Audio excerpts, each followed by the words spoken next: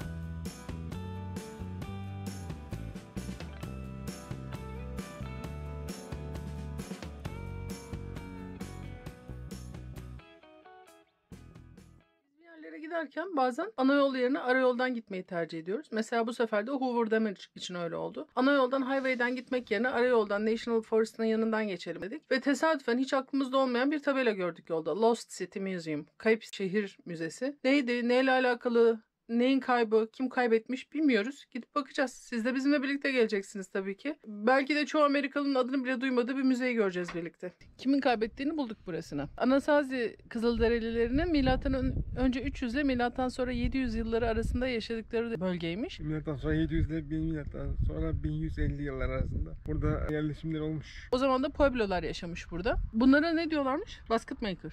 Ha basket maker evet. Bizdeki demir çağı, tunç çağı falan gibi çağlar bunlarda da başka farklı şekilde ad- adlandırılıyor. Bu milattan önceki 300 yıllarına basket maker, sepet yapıcılar çağı diyorlar. Gömlek, ayakkabı, maske yoksa servis yok. Buranın adını Lost City koymuşlar. Çünkü yaptıkları her şeyin çamurdan ve topraktan yapılmış olması ve zamanla hava ve su etkileri nedeniyle tamamen yok olmuş olması. Sadece ellerinde kalanlar bu sepetçikler ve işte toprağa gömülüp yaşamayı başarmış olan çanak çömlek. Bu bir örnek ev görüyorsunuz. Gene küçük yuvarlak birbirine bitişik evler. Yukarıdan çatıdan girilen evler. Topraktan yapılmış. Buranın yani Lost City'nin müzesinin bir özelliği de müzenin kazı alanının üzerine yapılmış olması. Yani burası daha önceleri 1924'lerde başlayan kazıların yapıldığı yer ve işleri bittiği zaman arkeologlar artık burayı bir müze haline getirmeye karar vermişler. Burası gerçekten 1935'te bulunmuş ve kazılmış bir alan. Arkeologlar işlerini bitirdiklerinde burayı bu şekilde terk etmişler. Alacaklarını almışlar, ortalığı boşaltmışlar. İçinde hiçbir şey kalmadan aynen bu şekilde bırakılmış ve gitmişler. Şimdi müzeyi yaparlarken daha önce olması gerektiği gibi duvarların burada görüyorsunuz şurada kenarları çizgileri var. Olması gerektiği gibi buraya bir düzenleme yapmışlar. Ve tahmini olarak buranın böyle olması gerektiğini düşünerek evleri en azından tabanlarını oluşturmuşlar. Orada da bir Pueblo kadını mısır öğütüyor. Amerika'daki arkeologların farklı bir görüşü var. Onlar üzerine çalıştıkları proje için kazıları yapıyorlar ama geri kalan her şeyi olduğu gibi ve buldukları yerde hiç ellemeden bırakmayı tercih ediyorlar. Buranın biraz daha ilerisinde bulunmuş bir tane köy varmış ama hiç kazı yapılmamış. Hatta kumun içindeki seramikler bile olduğu gibi yarım yamalak duruyorlar bulundukları yerde. Çünkü diyor ki bir şeyin bulunmasından daha önemli olan onun orada ve bulunduğu yerdir. Niye orada bırakılmış ve neden orada unutulmuş veya terk edilmiş. Bu çok daha önemlidir. Belki öyle bir teknoloji gelecek ki bunları hiç kazmadan veya kazarlarken çok daha farklı bir anlatımla çözümler bulacaklar. O yüzden bizim ellemememiz ve bunları gelecek arkeologlara bırakmamız çok önemli. İşimize yaramayan hiçbir şeyi kazmıyoruz ve çıkartmıyoruz. Bize Türkiye'de her şeyi kazıyoruz ve çıkartıyoruz. Bizim şimdiye kadar öğrendiğimiz her şey alt üst oldu burada. Buraya kayıp şehir demelerinin başka bir sebebi daha var. 1924'te iki tane kardeş burayı ilk bulduğu zaman demişler ki burası bir Pueblo köyü. Ama Pueblo'ların burada olmaması gerekiyor. Pueblo'ların yaşadığı yer çok farklı bir yer. Bizim daha önce gittiğimiz yerler vardı Nine Canyon gibi. Oralarda yaşamaları gerekiyordu. Ama buradalar. Çünkü onlar burada yaşamışlar ve buradan daha sonra e, milattan sonra 1150 yıllarında bu taraflara göçmüşler. Buralar onların bir önceki yaşadıkları yer olduğu için buradaymışlar.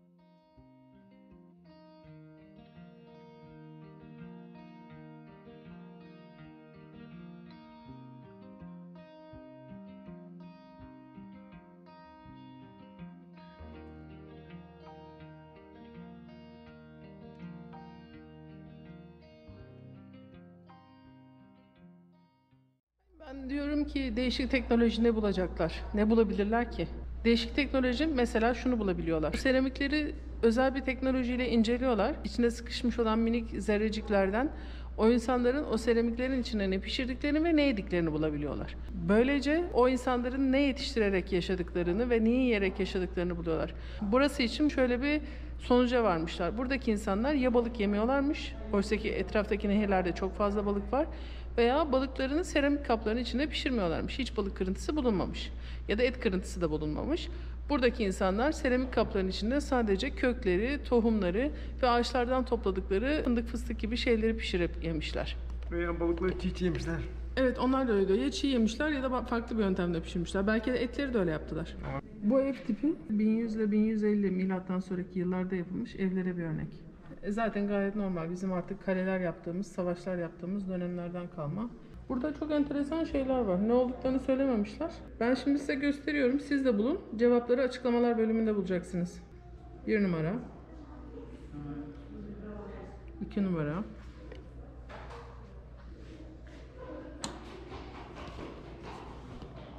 Üç numara. Dört. Yedi. Sekiz. Dokuz çok ilginç geldi bana. On. Bakalım kaç tanesini bilebileceksiniz. Bu bir bilmece. Şu altı. Ama altıyı bu da mı içecek? Bu altının iç kısmı. Bu 12. 5. 13.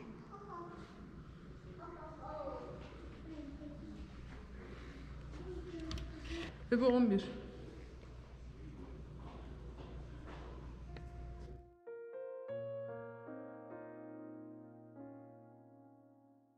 Arabalarda veya atların kenarlarında bebek taşımak için. Bebeği bunun içine sarıyorlar. Şu üstteki yuvarlak kısım bebeğin kafasını korumak için. İşte bu da oyuncak bebeği için yapılmış bir sepet. Sepet şeklinde örülmüş ve daha sonra üzerleri reçine ile kaplanıp su geçirmez hale getirilmiş sıvı taşıma kapları.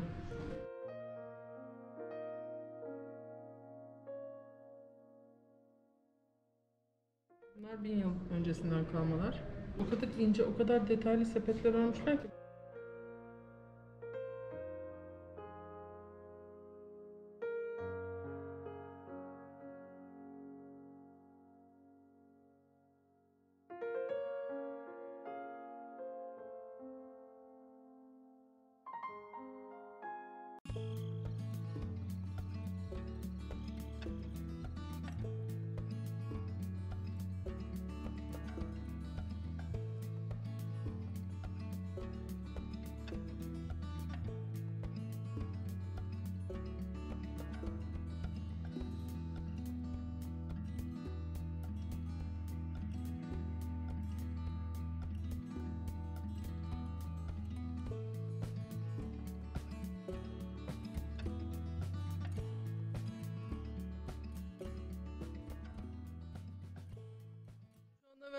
Fire yani Ateş Vadisi'ndeyiz. Buradaki kayalar tabii tahmin edeceğiniz gibi kırmızı kayalar.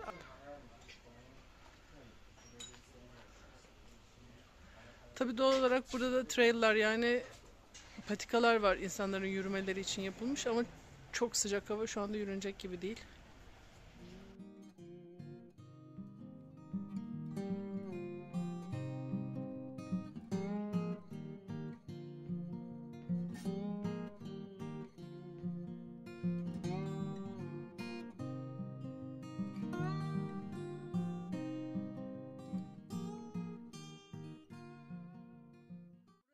Fire Valley State Park'ın kamp alanı ve biz nerede durduk? Biz burada tuvalet boşaltma ve su doldurma alanında durduk. Tuvaletimizi boşalttık. Şimdi normal kullanım suyumuzu dolduruyoruz ama etraftaki kayalar gerçekten güzel.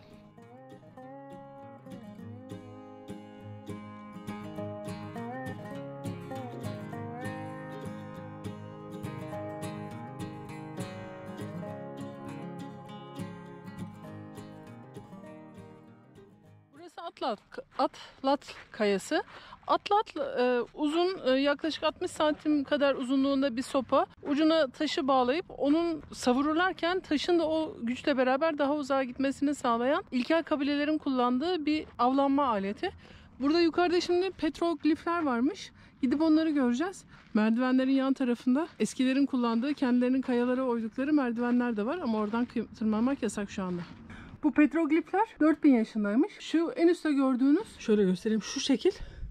O atlat atlat dedikleri alet. Bu arada öğrendik bu yuvarlakların da tabi net olarak bilmeseler de kabilelerin işaretleri olduğunu düşünüyorlar.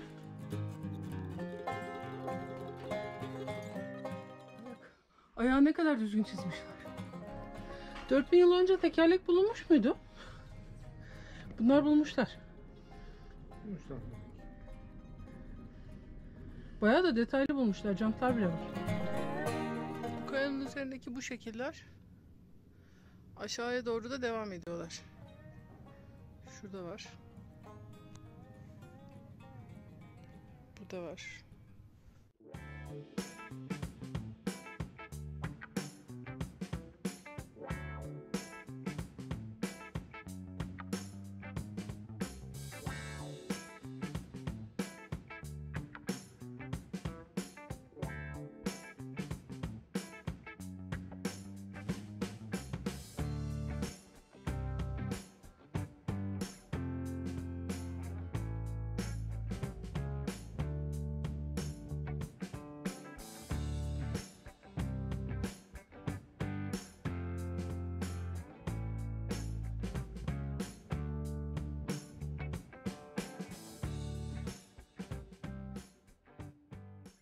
Yine bizim çıkamadığımız yerlerde keşif yapıyor.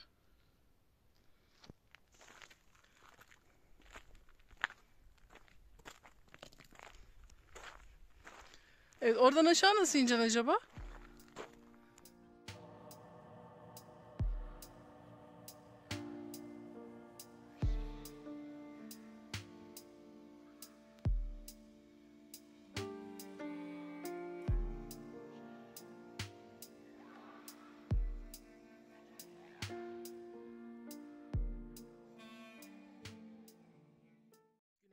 Arkadaşlar. Biz bu akşam Valley of Fire'da Atlant Campground'da uyuduk. Yer yoktu normalde. Burada bir tane teyze vardı. O teyzenin yanında onunla birlikte bir kamp alanını paylaştık. Teyze diyorum çünkü şimdi size göstereceğim buradan. Böyle birisi. Herhalde bir 80-85 vardır. Böyle bir arabayla ve arkadaki çadırla seyahat ediyor. Tek başına. Covid olmasaydı ben daha çok gezerdim. Covid'den önce çok geziyordum. Şimdi de yine gezmeye başladım. Arabam benim evim diyor. Bu arabayla sürekli geziyormuş. Yani gerçekten gezmenin yaşı, cinsiyeti, tekliği, çiftliği, karavanla gezmesi, çadırla gezmesi yok. Canınız gezmek istiyorsa her halükarda, her şekilde gezebilirsiniz. Bu arada arkamda Haluk ne yapıyor diye merak edenler yola çıkacağız sabah erken saat 6.30 arabanın yağını suyunu kontrol ediyor. Ne kadar erken? Şu kadar erken. Güneş doğuyor ama daha doğamadı.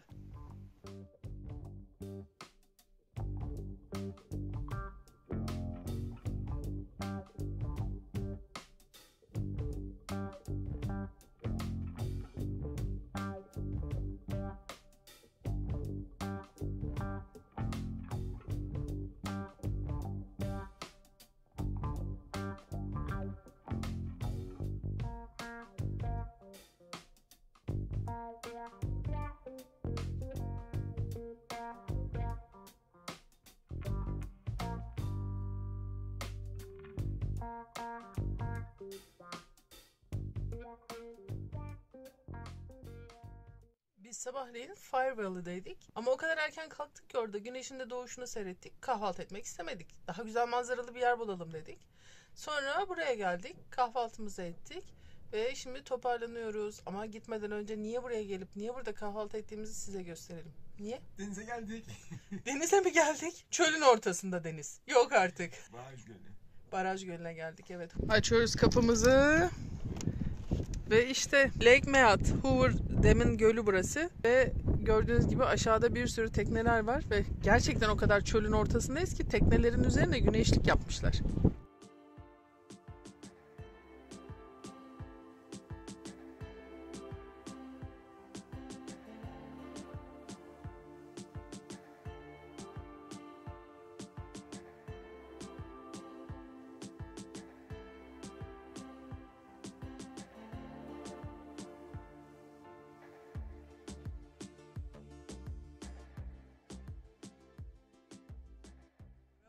Var diye boşa demiyorlar. Buraya girince birdenbire hayat değişti. Las Vegas'a çok az bir mesafedeyiz aslında. Las Vegas'ın herhalde burası yazlık evleri, resortlarının falan olduğu yerler diye düşünüyorum. Etraf inanılmaz yeşil, çok güzel. Ee, Daha fazla konuşmaya gerek yok. Bence ben sizi görüntülerle baş başa bırakayım.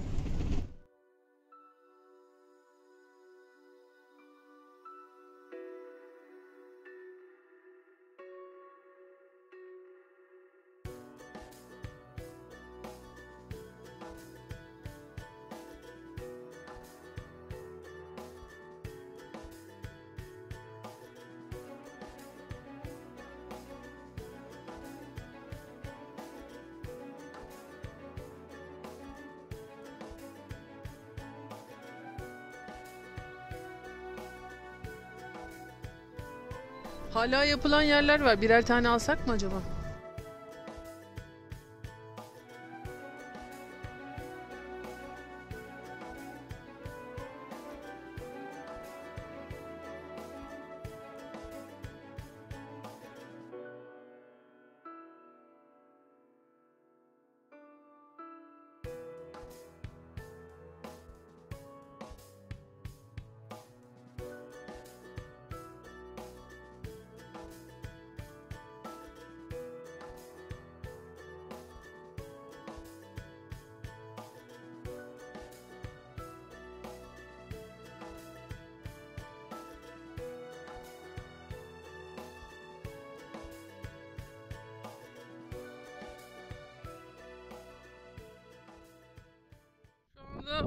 33 Halls Overlook alanındayız. Gölün karşısında karavanlar var. Ve bunların ne yaptıklarını biz anlayamadık. Güneşin alnında, Arizona'da, Nevada'da bu tür insanlar yolun kenarında duruyorlar. Niye böyleler biz çözemedik onları.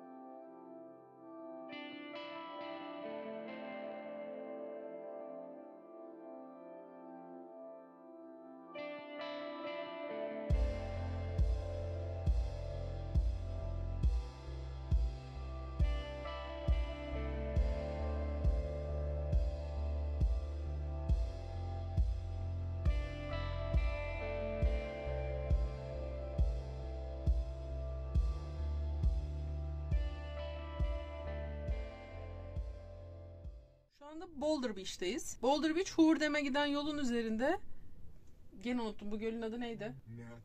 Mead Gölü'nün kenarında. Mead Gölü dediğimize bakmayın. Aslında burası Hoover Dam'in yani Hoover Barajı'nın oluşturduğu bir göl. Az evvel yukarıdan bakarken bir yaşlı çiftle karşılaştık. Onlarla biraz muhabbet ettik. 20 sene önce buraya taşınmışlar ve diyor ki 20 sene önce burada inanılmaz bir su vardı. Orada dikildiğimiz yerde ayağımızın altına kadar geliyordu su dedi. Bizim inanasımız gelmedi. Bu arada kamerayı ben sallamıyorum ha. O kadar rüzgar var ki araba sallanıyor. O yüzden içeride çekim yapıyorum zaten. Boulder Beach'in yanına inince aşağıya fark etti ki acayip bir su varmış burada ve o su çekilmiş. Yani kısacası dünya kuruyor. Sadece olay Burdur Gölü'nde değil, Eğirdir Gölü'nde değil. Bütün dünyadaki sular yavaş yavaş çekiliyorlar. Yani biz aslında şu anda suyun altındayız. Bakın şurada görüyor musunuz? Bir denizaltımız var. Şurada aslında gölün büyük olduğu zamanlar için yapılmış, ucu gölün içine değen, yukarıda göle ulaşmak için yapılmış iskelemsi çelik bir bin- yapı görünüyor. Ve şu anda nerede kalmış? Çok rüzgar var derken ne demek istediğimi anlayabiliyor musunuz? Hale bak. Yani şurada gördüğünüz ada aslında eskiden ada değilmiş. Suyun altında bir yükseltiymiş. Orada gördüğünüz o beyazlıkların tamamı suyun altında olan kısımlarmış. Ve biz de şu anda suyun altındayız. Yaşasın artık karavanımız bir denizaltı. Evet evet işte kovboy filmlerinde gördüğünüz çalı yuvarlanıyor. Görüyorsunuz değil mi? Bu filmlerde rol alan çalı.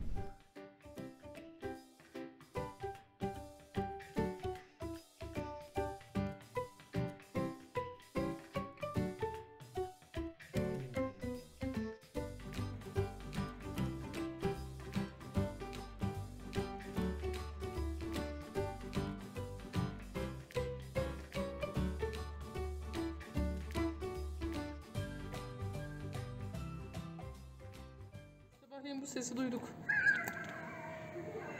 Şarap da bayağı bir rahatsız oldu.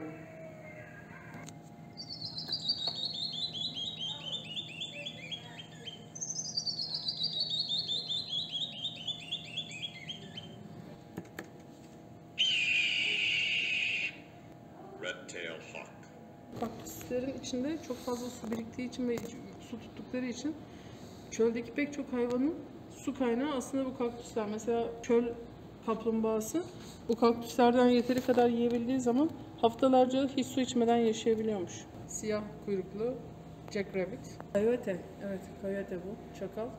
Sabahleyin seslerini duyduk bunların korkunçtu. Kupi Kızılderililerin inancına göre coyoteler renklerinden hiç memnun kalmamışlar ve mavi kuşa gitmişler. Demişler ki senin rengin çok güzel biz de aynı renkten olmak istiyoruz. Tamam o zaman demiş. Mavi kuş bu coyoteyi bir pınarın içine götürmüş. Demiş ki bu pınarda yıkan ama yıkandıktan sonra 4 gün boyunca kendine hiçbir şekilde gölgene ve kendine suyun içinde bakmayacaksın. O zaman benim gibi güzel renkli olursun. Ama Coyote bunu yolda unutmuş. Dönüp kendi gölgesine bakmış. Kendi gölgesine bakmaya çalışırken de düşmüş, yuvarlanmış, kumun içine girmiş. Her tarafı kum olmuş böyle etrafına sarılmış. Temizlenmeye çalışmış, olmamış. Tekrar o Pınar'a gitmiş. Pınar'ın içine girmiş ama artık fayda etmemiş. Bundan sonra Coyote'ler hep kum rengi kalmışlar. Hmm, bunlar ayak izleri. Neylerin ayak izleriymiş? Bu sence neyin ayak izi olabilir? Tavşan. Fare. Fareymiş. Coyote. Bence de Coyote. Evet bildik. Kuçu. Oo, Bobcat. Bu kurt olabilir mi? Hmm, Kocaman bir şeye benziyor. Oo. Mountain lion. Bu. Göremezseniz bile ayak izlerini görürsünüz diyor.